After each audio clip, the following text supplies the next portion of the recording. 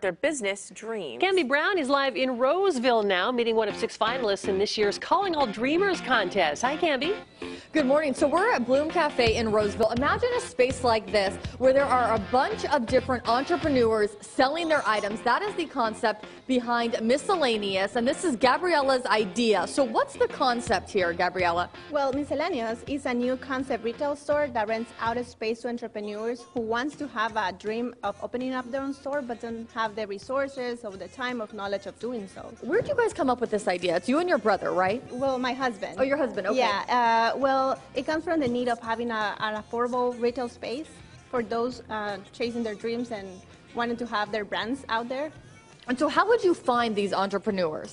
Well, they, they uh, are online already, or they are in farmers market. They already are on different stores as well. So we want to be uh, a, a platform for them so they can have their products there too.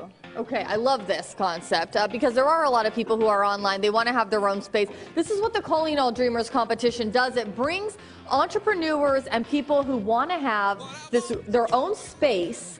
You guys help this make them happen. It is a prize valued at $100,000. What do they get, Jordan? They get a mix of services including marketing, help with designing their space. We help them find the space downtown that they'd like to actually have their business in. So the Calling All Dreamers competition, now in its fifth year, we've helped over five dreamers, four dreamers, pardon me, already open a business. Oblivion Comics and Coffee most recently, and now we're excited for this next pool, uh, next pool of six finalists yeah, who are vying year, to compete. This year there's six finalists, yes. but what we find happens is even if something like miscellaneous doesn't win, they still usually go on to create their own business. And, and what first comes to mind is Benjamin Shoes. Yep. I remember being at his home mm -hmm. as he is showing me how he makes these shoes. And now this man goes all over the country yep. and learns about different things and then, and then has his own retail space. So he didn't win, but he still goes on because they learn so much valuable things from this program.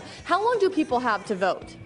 They have till June 26th. You can vote online, callingalldreamers.org. Yeah, because the public's vote helps decide yep. who is going to win. In the next hour, we're going to introduce you to another dreamer. Wait until 9, uh, 10 a.m. this morning to decide who you want to vote okay. for. Uh, and then go onto their website and vote because we're going to introduce you to all of them. Yeah. Uh, and then you can decide. All of them except, I think, the Churro Project which I think they know I would eat all their churros, so they couldn't make it. Oh, so darn. that was going to cost them too much favorite. money, you yeah. know. but I love this concept, the miscellaneous. Yeah, it's great. great. It's going to be hard to decide.